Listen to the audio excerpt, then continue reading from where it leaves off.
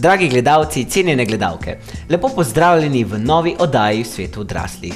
V čas mi je, da v današnji oddaji gostim predsednika Dijaške organizacije Republika, Republike Slovenije, Klemena Perana. Klemen, lepo pozdravljen v naši oddaji in v našem studiu. No, najlepša hvala za povabilo. Klemen, kako se počutiš kot predsednik Dijaške organizacije Republike Slovenije? Eh, zdaj nekako kot predsednik Dijaške organizacije. Eh, kako se počutim zelo dobro, no? ampak eh, kot je že v enem dopisu mi minister povedal, eh, pa se kar strinjam z njim, nekako ni nič druga to, kot biti prvi med enakimi na nek način si najpogosteje med nalom pa nekovalom, eh, najpogosteje grejo očitki na tebi, eh, na tebe, deleženci tako včasih pohval, moram povedati, kot tudi kritik. Um, je sicer delo zelo zanimivo, mene izredno veseli, um, ker na tem delam že od samega začetka, odstopa srednjo šolo, zdaj sem pa že četrti letnik. Ampak je pa ena velika odgovornost in veliko zaupanje, ki so mi ga izkazali diaški poslanci na prvi seji diaškega parlamenta uh, in jo tudi nameravam upravičiti. Klemen, kaj sploh pomeni kratica DOS? Kaj sploh je DOS? Eh, zdaj to je zanimivo vprašanje. DOS je eh, Dijaška organizacija Slovenije, kot smo že, že prej malo pogovarjali. Eh, se pravi, Dijaška organizacija Slovenije nekako deluje pod okriljem študentske organizacije Slovenije, sestavljena iz večjih organov, ima tudi svojo zgodovino. Trenutno je pa to ena taka organizacija, ki je krona organizacija dijakov v Republiki Slovenije in zastopa vseh, danes je okoli 80 tisoč dijakov, ki se izobražujejo v naši državi. Vse zastopamo, borimo se za njihove pravice, želimo izboljšati stanje dijakov, se pravi tako materialno, kot tudi duševno, koliko ga lahko, in pa tudi poskušamo biti vedno nekako trd pogajalec, tako zakonodajno vejo oblasti, kot tudi izvršno vejo oblasti, tako da vedno upamo nekako v vsaki situaciji delati v dobro vseh dijakov naše države. Kot si že omenil zgodovino, nam jo lahko na hitro predstaviš, prosim. Ja, torej, če se vrnemo mogoče nekaj let nazaj v prejšnji sistem, takrat dijaške organizacije niso obstajale, takrat so se nekako uh, vključevali mladi v Zvezo socialistične mladine. No, kasneje je 31. marca leta 1990 nastala Zveza dijakov Slovenije, ki je delovala nekje tri leta in kasneje se je pod okriljem v bistvu takrat študentske organizacije Univerze v Ljubljani ustanovila Dijaška sekcija Slovenije. Nekaj časa je delovala tako Dijaška sekcija Slovenije, ampak potem so ugotovili, da je nekako boljše eh, nacionalno gledano eh, dijake spraviti tudi pod nacionalno, če smo že pod študenti, pod nacionalno študentsko organizacijo. Zaradi tega danes, še danes v bistvu delujemo pod študentsko organizacijo, Republike Slovenije, se pravi, eh, če smo mi dosto oni šos. Eh, nekako to je kratko o zgodovini, ki pa se še piše, ki je zelo kratka. Nam lahko še nekaj več poveš o odborih, tudi odbore si in samo strukturo DOS-a si že omenil. Ja, torej odbori so naprimer pomembna struktura DOS. Eh, zakaj so tako pomembna? Predvsem za ostale dijake, ker je odbor tisti prvi organ, v katerega se lahko prav vsak dijak člani. Imamo trenutno devet odborov, nekaj smo jih ustanovili na novo. Če jih malo predstavim, to so odbor za regionalno delovanje, odbor za mednarodno sodelovanje, potem odbor za eh, pomoč dijaškim skupnostim, ki je na novo ustanovljen eh, in s katerim želimo, da bi se vsi dijaki v Republiki Sloveniji res lahko demokratično organizirali in bo nekako ta odbor pomagal eh, vsakemu dijaku. Eh, sledi odbor za informiranje, ki skrbi za prepoznavnost DOS-a, eh, piše tudi vse potrebne zapisnike, vodi vso, vso potrebno dokumentacijo. Tukaj imamo še tudi eh, dva odbora, ki sta na področju sociale. En odbor skrbi za socialno zakonodajo, drugi odbor pa skrbi za socialne projekte. Mogoče zaradi tega dva odbora letos, ker res vidimo, da je ta socialna stiska dijakov se v zadnjih letih izredno poglobila. Eh, veliko dobivamo klicev tako strani staršev kot dijakov samih, eh, da si težko plačujejo sprotne stroške, da je izobraževanje v bistvu postalo bolj privilegij kot pa um, izbira vsakega posameznika in zato tudi dva odbora za socialo. Um, sledita pa še odbor za izobraževanje in pa odbor za interesne dejavnosti. Se pravi, vsi lahko tu sodelujejo. Uh, drugače struktura DOSA je pa sestavljena tako, če začnemo pri odborih, oziroma lahko malo povežemo s poslanci, se pravi, začnimo z um, organom parlamentom. Eh, v parlament diaške organizacije se vključujejo vsi poslanci eh, diaške organizacije in to so predstavniki vseh srednjih šol eh, v Republiki Sloveniji. Parlament je najvišji organ, Eh, in tudi potrjuje vse, eh, v bistvu vsa stališča, vsa mnenja, izvoli predsedstvo, izvoli svet in tudi vse tiste res najpomembnejše stvari. Eh, sej parlamenta je pet na leto, oziroma bile so do zdaj štiri leta, smo se odločili, da bo ena več, ker res želimo podariti demokratičnost. In parlament nekako, kot sem že prej povedal, izvoli predsedstvo. Predsedstvo je nekako izvršni organ, Eh, in vodi diaško organizacijo med vsako sejo parlamenta. Eh, predsedstvo se stavljajo v bistvu člani predsedstva, to je deset dijakov, ki so bili vsi izvoljeni strani parlamenta eh, in so tudi predsedniki odborov. Nekako nas nadzoruje, nadzira svet. Svet diaške organizacije tudi se stavljajo ponavadi poslanci ali pa predstavniki šol, ne smejo pa biti to člani predsedstva. Eh, se pravi, da je res to en taki nadzorni organ, ki nadzoruje, nadzoruje delo predsedstva. Eh, je pa podpredsednik diaške organizacije, eh, predsednik sveta diaške organizacije. Hm. Sledi pa še varuh, ki skrbi za vse diaške pravice in na njega se lahko vsak diak vedno obrne, ki je mm, nekako ponavadi študent in samo dela pod okriljem diaške organizacije in pa tudi imamo vodjo diaške organizacije, ki pa je tudi postavljena strani študentske organizacije. Kako pa lahko nekdo sploh postane diaški poslanec? No, eh, v bistvu je zelo zanimivo. Diaški poslanec se sliši že kar eh, malo visoko, je že ne, nek naziv, eh, ampak dejansko je do tega, stali, do tega naziva zelo enostavno priti. Eh, nekako se je treba na šoli zorganizirati eh, in takrat, ko mi po, razpošljemo pošto, ko, napovemo, da bo v bližnji prihodnosti sklicana seja parlamenta, eh, se mora dijak dogovoriti v svoji dijaški skupnosti in se odločiti, eh, da bo on predstavljal njihovo šolo. Seveda je prav, da dobi tudi soglasje ostalih članov dijaške skupnosti. Eh, bo pa od letos naprej, ker pripravljamo statut, ki bo enak za vse dijaške skupnosti v Republiki Slovenije, dijaški poslanec v bistvu mandat, ki bo potekal eno leto, lahko pride do spremembe, ampak eh, nekako bomo imeli evidenco vseh poslancev na Dijaški organizaciji Slovenije in vsaka šola bo javila svojega poslanca. Eh, čas iz vlastnih izkušenj povem, jaz sem začel na DOS-u svojo, če lahko temu rečem, kariero uh -huh. kot dijaški poslanec tudi in postal svetnik, kasneje član predsedstva, podpredsednik, letos pa predsednik. No. Letos pa predsednik. Torej, koliko dijaških poslancev oziroma dijakov pa sploh je v sami dijaški organizaciji? Torej, če govorimo točno o poslancih, ki pridejo na sejo parlamenta, ki sicer poteka eh, v državnem svetu Republike Slovenije, v tisti dvorani, v katerem se je v bistvu skovala naša država, uh -huh. je ponavadi nekje 80 poslancev. V resnici bi jih moglo biti okoli 100, 156, nekje toliko 170, toliko kot je srednjih šol, s tem, da imamo mogoče po nekatere srednje šole po dve diaški skupnosti ali kaj podobnega. Uh, toliko bi jih moglo biti. In v letnošnjem letu načrtujemo ustanovitev diaške skupnosti na vseh srednjih šolah, ker še vedno opazam, opažamo, da imajo nekje dijaki težave z demokratičnim organiziranjem, in bomo, upam, da s podporo ministrstva spodbudili to demokratično organiziranje in da bo res poslancev naslednjič 170 no, oziroma 150 nekje. Zdaj, če gledamo, da eh, lahko pride na sejo parlamenta v bistvu eh, vsak dijak, ni potrebno, da si poslanec, lahko si samo opazovalec ali spremljevalec poslanca. Uh, mislim, da bo v naslednjih letih vse parlamenta kar dobro udeleženo.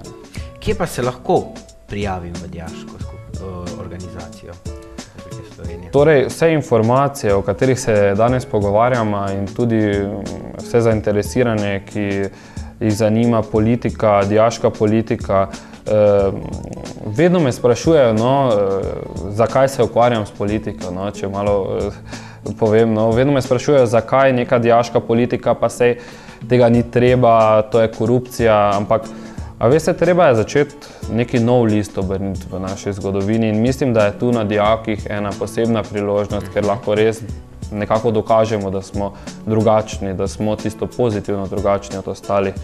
In veste, politika ni samo tisto zgolj sedenje v parlamentu in glasovanje, dvigovanje rok, pisanje nekih zakonov, pravilnikov. Politika je vse. Uh, ali bom dobil malico, ali bom dobil štipendijo, ali bom lahko z naslednjim letom si plačal šolanje, ali bom lahko si plačal tejaški dom, kako je z šolninami na, kateri, na nekaterih šolah. No, vse zadnje, kako je z ocenami, ali je fair, da sem dobil naprimer, pri enem predmetu negativno oceno, če me mogoče sploh ni bili, bilo pri tisti uri, uh, ali je fair, da sem dobil uh, neopravičeno uro. Uh, to so vprašanja, ki se jih dejaki pogosto sprašujejo. In če bi se mogoče malo zanimali za politiko, bi eh, zelo enostavno vedeli odgovore na ta vprašanja. Če se pa ne zanimajo, pa jih vabim, da obiščejo našo spletno stran www.diaska.org, na kateri imajo v bistvu vse podatke, vse zakone, ki urejajo dijakove pravice v Republiki Sloveniji in pa tudi kontakt, naš kontakt in kontakt varuha dijakovih pravic. Vedno nam lahko tudi pišejo na info.diaska.org in pa na varuha.diaska.org. Ehm, če pa želijo participirati, ehm, pa so vabljeni vsi in se lahko prijavijo tudi na spletni strani in prav tako nas lahko kontaktirajo, če jih zanima točno določeno področje ali na splošno delovanje, bilo kaj, nam lahko mhm. resno vedno pišejo ali pa nas pokličejo na telefon, ki je tudi objavljen na spletni strani. Kaj pa sploh je vloga varuha dijakovih pravic? Kaj sploh on oziroma ona ureja? Ja, letos je varuhinja dijakovih pravic, eh, Katja Mesarič, eh, ki je sicer bila že včasih članica predsedstva in tudi dijaška poslanka in eh, je, je to področje zelo znano. Nekako, tako kot smo se prej pogovarjali, vsi ti zakonniki, mogoče tisti, ki se res ne ukvarjajo toliko s politiko, pa tudi iz vlastnih izkušenj, vem, večkrat ti pišem, ko me kaj zanima, kako pa je to urejeno na državnem nivoju, na zakonskem nivoju bilo kakšno vprašanje imajo. Bilo kakšno vprašanje, eh, ki se jim poroji, ko, ko se zdi, da se jim godi krivica. Ali pa ne, ko, ko jih preprosto zanima, kako do kakšne štipendije, do, do bilo česa, res vedno lahko pišejo varuhinji. Eh, Varuhavnadiaska.org je njen elektronski naslov in uh, jaz sem ga zdaj že nekaj parkrat ponovil, ampak se mi zdi pomembno, da si ga zapomnijo, zaradi tega, ker je res vedno na dosegu in uh, bo z veseljem odgovorila z zakonsko podlago na vsa vprašanja dijakov. Uh, nekako na vsaki srednji šoli bi naj bil varuh dijakovih pravic predsednik dijaške skupnosti na tisti srednji, na srednji šoli. Uh, nacionalno je pa to ona in ima res pregled nad tem, tako da dajte jo vprašati. Kakšne projekte, kakšne projekte pa ste letos pripravili? Ja, torej letos imamo res eno široko paleto projektov, ki smo jih pripravili za dijake. Um, začenjamo z projektom, ki je namenjen socialno ogroženim dijakom, ki ga je pripravljal zelo vestno in skrbno uh, moj sodelavec uh, Matic Matjašič. Um, to je projekt uh, Dijaški sklad nekako smo ugotovili, da v Sloveniji trenutno dijaki niso na najbolj hrožnatem, če gledamo čisto finančno področje, eh, ker smo bili od začetka krize nekako vedno postavljeni v prve vojne linije, čeprav eh, ne sodimo tja. Zaradi tega smo začeli zbirati sredstva, eh, prostovoljno so nam darovali sredstva tako študentska organizacija Slovenije, kot tudi sindikat vzgoje in izobraževanja Slovenije, in pa tudi nekateri evropski poslanci, en slovenski poslanec. In eh, se je nabralo res eh, en lep, zajeten kup teh sredstev, finančnih, in se lahko prijavijo. Res vsak socialno ogrožen dijak, na, tudi na spletni strani, imajo vse postopek prijave in so potem upravičeni do enkratne denarne pomoči v višini 200 evrov, kolikor bo komisija ugotovila, da, ki bo sestavljena iz članov predsedstva, da so upravičeni no, do, ta, do te socialne pomoči. Pripravljamo tudi en manjši projektek v sklopu Mednarodnega dneva dijakov. Takrat bomo postali en krajši video, ga malo širili okoli na Facebooku. Po tem projektu imamo, mislim, da že kar sejo parlamenta. Ja. Mhm. Seja parlamenta je v bistvu skozi celo leto en projekt diaške organizacije, ki jo želimo še okrepiti, še bolj ozaveščati vse eh, poslance, vse odeležence seje.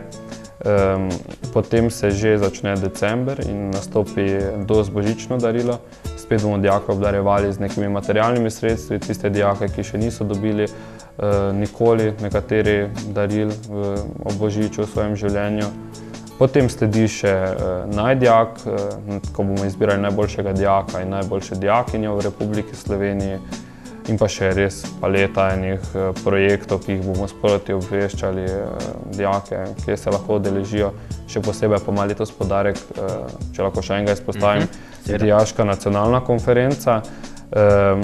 To bo, mislim, da okoli eh, dvodnevna konferenca, ki se jo bodo lahko deležili vsi dijaki, ki bodo v bistvu prišli dovolj hitro na tisto listo, ko bomo zbirali dijake in bo nekako barvana v slogu letošnjih evropskih volitev.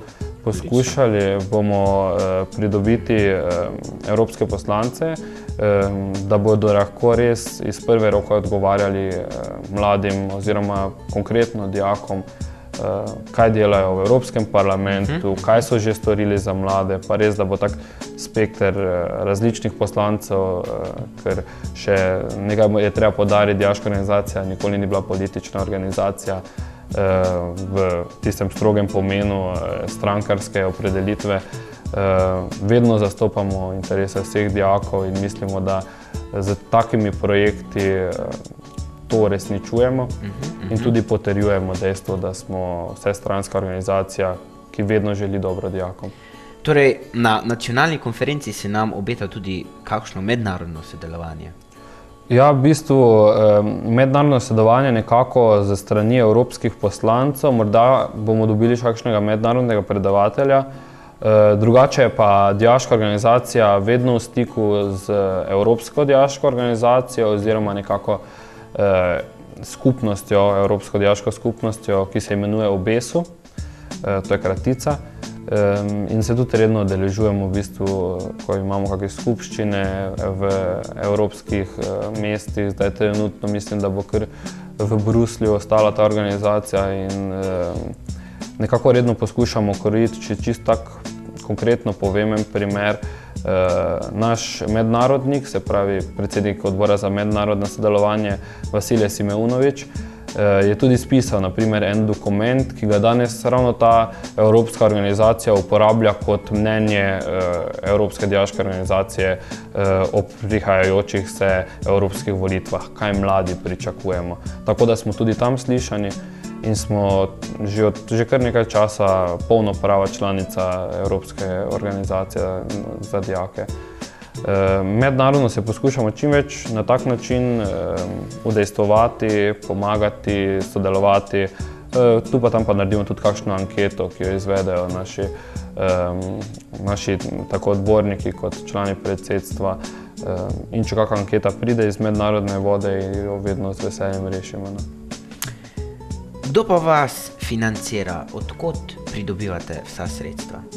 Ja, torej, Dijaška organizacija je financirana strani koncesijske dejatve. E, to je v bistvu tisti zajeten kupček, kupček denarja, ki ga pridobimo iz e, študentskega dela.